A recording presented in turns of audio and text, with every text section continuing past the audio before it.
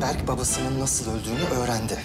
Ne? Allah seni kahretsin Akif. Asıl sen ya. Sen bana bunu nasıl yaparsın öyleyse? Dur ne yapıyorsun? Allah seni kahretsin. Doruk sen tam olarak neredesin ya? Buradayım. Şöyle götürürsün güzel bir restorana böyle şov bir yemek yedirirsin. O zaman derim ki tamam. Ucuza kurtulamayacaksın diyor yani. Herkes birbirinin arkasından iş çeviriyor demek ha? Ömer bile Süsi'yi aldatabiliyor demek öyle mi?